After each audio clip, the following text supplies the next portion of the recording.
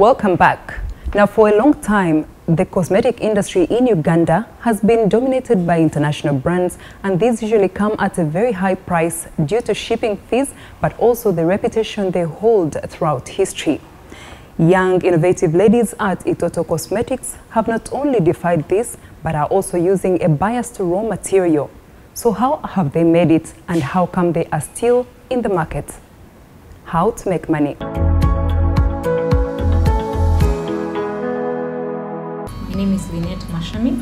I'm the production manager at Itoto Cosmetics. Um, Itoto Cosmetics is a women-founded, women-led company, cosmetic company, dealing in skincare products at the moment, made out of Ankole cow ghee. Yes. So we derive our inspiration from our ancestors who used uh, cow ghee to moisturize their skin then, uh, then till today, it's called butahe. So what they did was churn the ghee and then smoke a little bit of it for their moisturizing. So they use that for moisturizing their children and all the entire family. That's what they used for moisturizing. So growing up, uh, we looked at that and it was a beautiful, it was a beautiful moisturizer. It was a beautiful product. However, scent was the issue most people love the skin benefits, the benefits of cow ghee, but the issue was with the scent. So we went to UIRI and went to UIRI as incubators and learned how to descent cow ghee, and that gave birth to Itoto.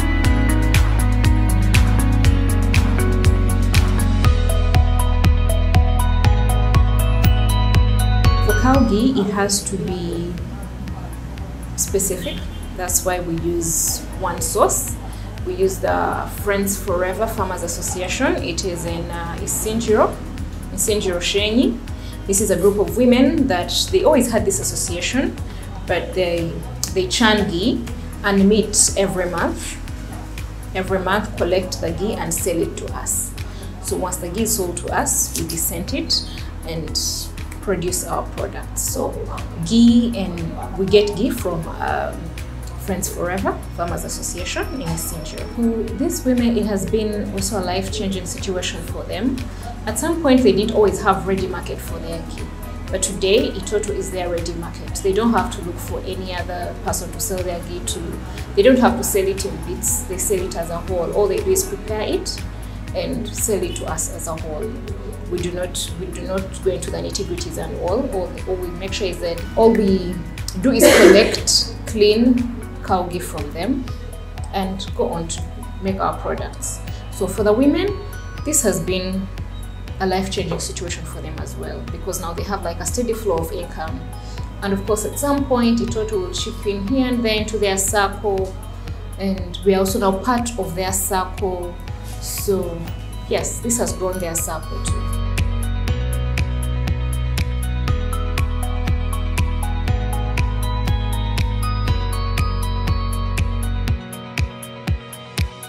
Don't solely use cow ghee. We use a few other products that are also rich. We use other oils that are rich and good for the skin in production of all these products, the cream, the lotion, the body lotion, the hand cream, uh, the body cream, the butter, the jelly. So we always, well, cow ghee is the primary raw material. But of course there has to be something else. For example, the cream, the lotion, the hand cream, the shower gel, those we have to include preservatives. And the jelly, you cannot have jelly without mentioning petroleum. So jelly, we add petroleum to cow ghee and come up with a jelly. The butter is our complete butahe. For those looking for that local butahe, the original butahe, that is the butter for them. So yes, we have the butter for those looking for original butahe. Then those looking for something modern, nice. Some people love creams and lotions. So they'll go for the lotion and the cream, which also is made out of other rich oils, but most primarily cow ghee. This is not our, this is not where we work from. Our production area is at Uganda Industry Research Institute. Like I mentioned, we go to industry, Uganda Industry Research Institute as incubators. So for the churning, we receive the ghee when it's already churned. It's ghee already. And for the desenting, we descent it at UIRI. It's a very long process, very long and tiresome, but we do that at UIRI and then go on to add it to the other oils, preservatives and all to come up with these products. The reception has been good. However, yes, that has been a challenge because like, mm, what I smell like ghee? Then you have to convince them, no, this is totally descented. You won't smell anything like ghee. And the good thing is that when people try it, they come back because they don't smell like ghee. When they look at it, they're like, oh, this is ghee, but they can't really smell the ghee. Uh, the beauty is that we have quite a number of walking clients. So at times when it's so hard to convince someone over phone, they always walk in and once they have a look at the samples, they're comfortable with the product. At the moment, we've been using social media, our social media handles, at Itoto, at Itoto UG on Instagram and Facebook, plus Twitter. Then uh, word of mouth has really been our selling point. The grapevine has really been our selling point. And um, we've always taken part in quite a number of um, trade fairs, small trade fairs that are locally organized. And that has also created awareness for us. So wherever there's a trade fair, we'll always be present for, um, we'll always be present to create awareness for Itoto Cosmetics.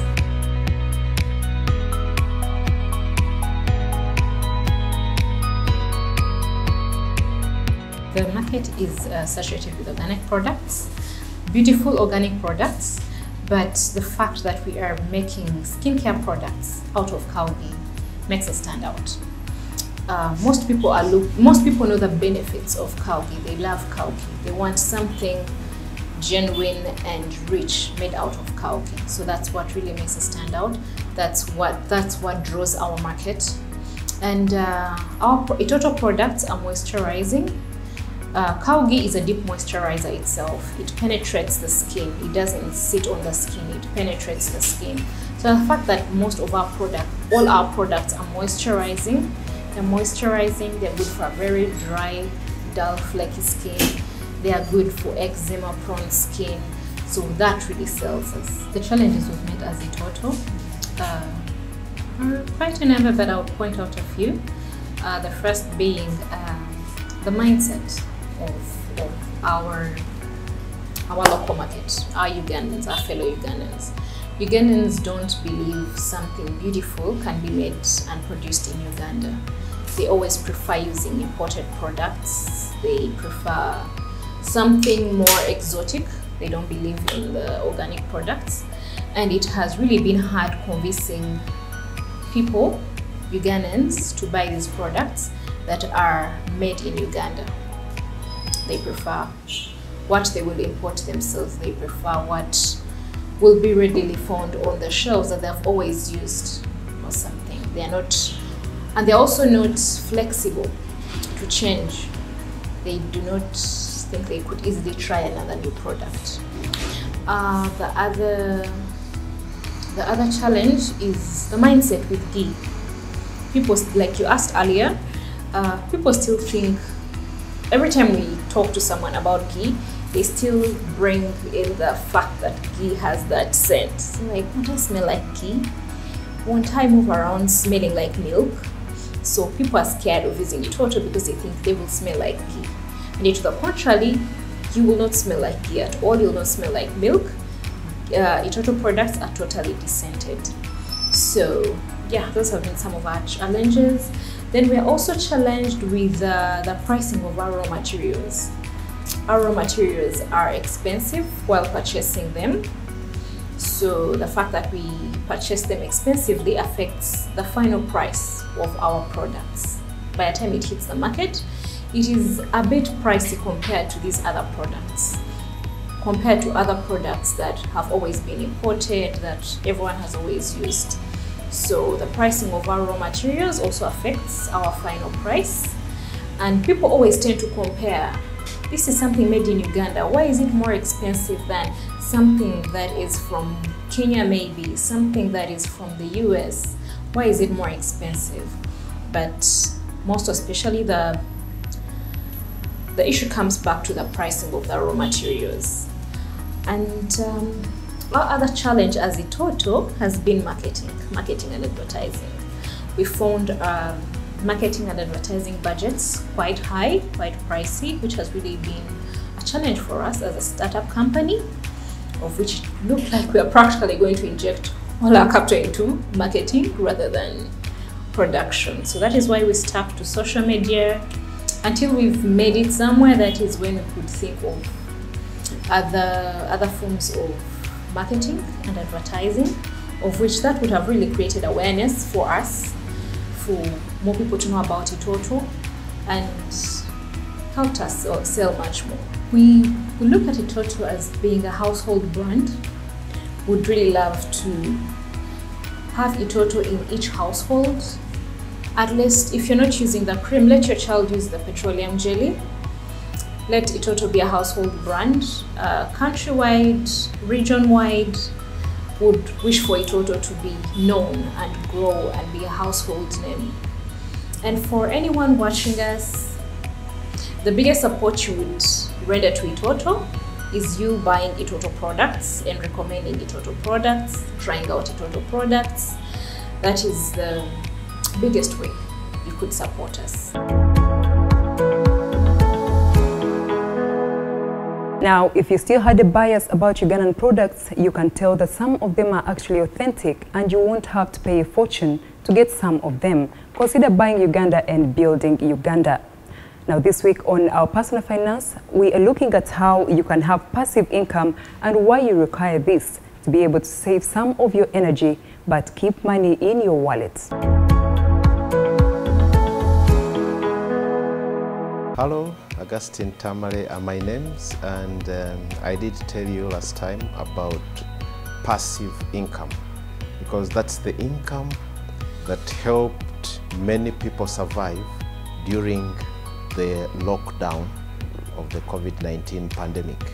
You needed income that keeps flowing in, irrespective of your staying home. By the way, this is the income that will sustain you even during retirement. So it's an area that we must venture into. Even as the economy opens up, I know if you're a business person, your customers are not yet coming in properly. But the little income you are getting, you need to have a portion that you invest so that you can have passive income. So begin by saving it. And uh, I did mention that you need to save at least 20% of your income we expect that your consumption should be 50% of your income. So if you have a profit of 1 million shillings or a net pay of 1 million shillings, don't consume more than 500,000 shillings. That's the maximum you should consume. The moment you exceed the 500,000, you are eating your future, you are eating your retirement. So the passive income is very important to have and uh, you know that part of the passive income was also affected by the lockdown. This had to do with the rentals. The tenants didn't have money.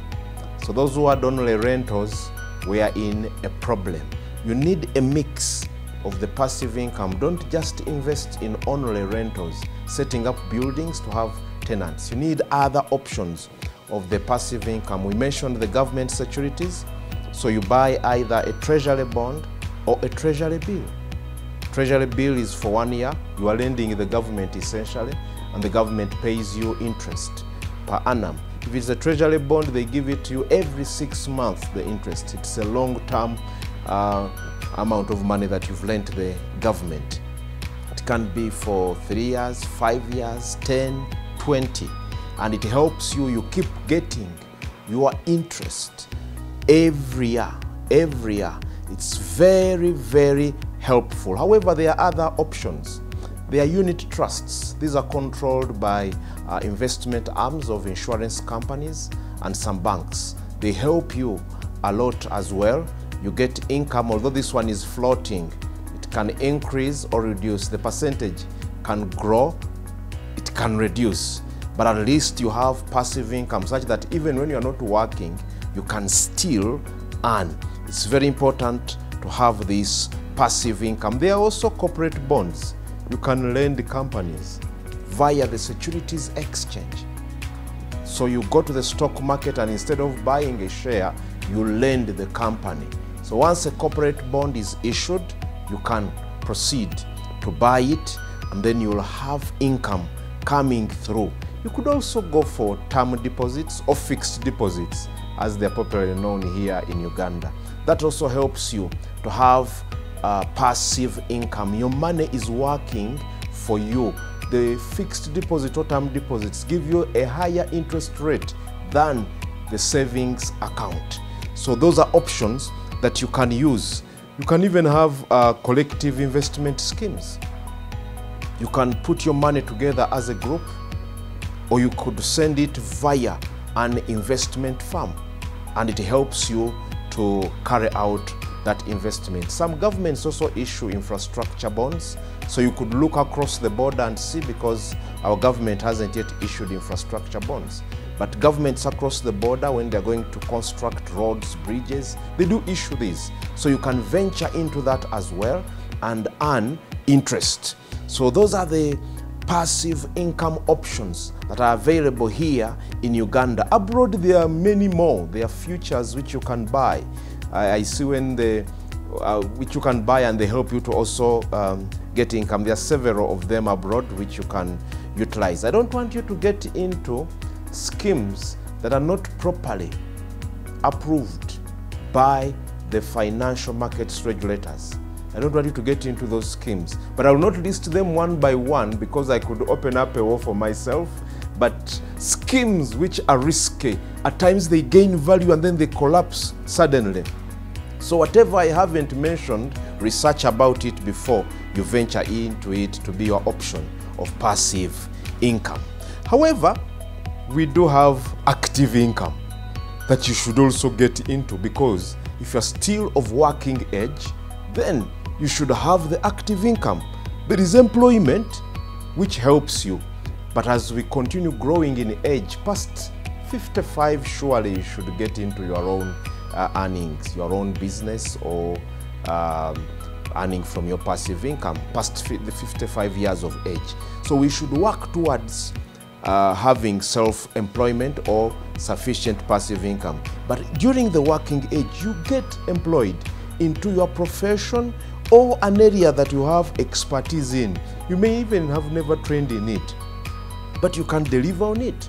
You could be a motivational speaker when you are good, you are talented, so you can earn from that as well. That is active income. You could engage in business, save and get capital, or borrow some of it. You may not have saved enough. So borrow some capital and start a business. Do not venture into a business you have not researched about.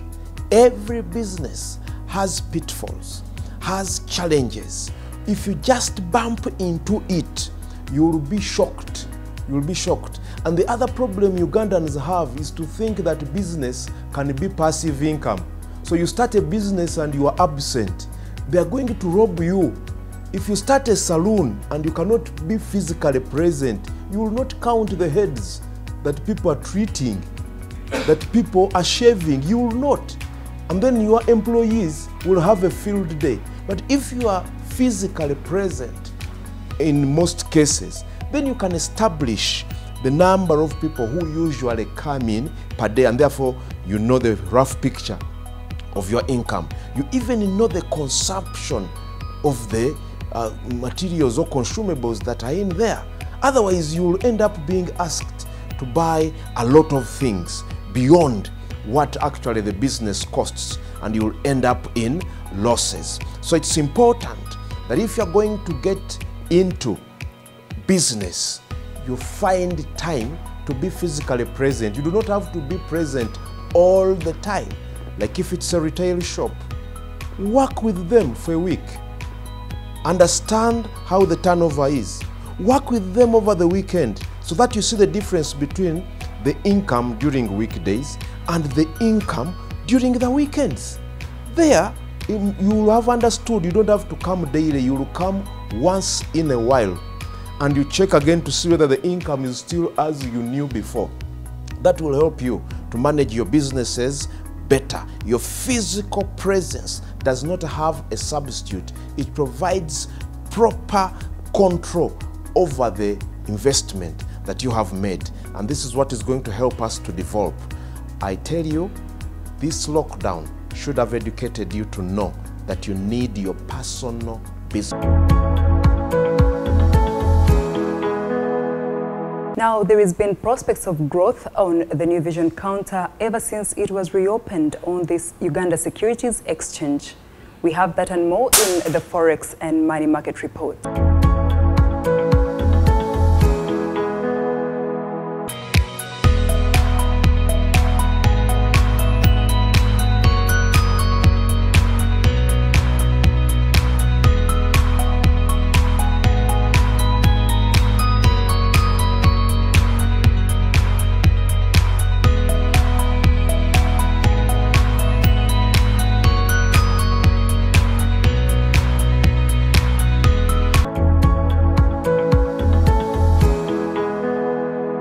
We've come to the end of the show, but we are celebrating Women on the Business Show this month. And you can feel free to get in touch with us, get in touch with me on my social media handles and the rest of the team to let us highlight what you've achieved in business as a woman.